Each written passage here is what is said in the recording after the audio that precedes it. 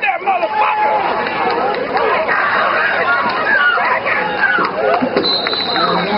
Chris McGee on the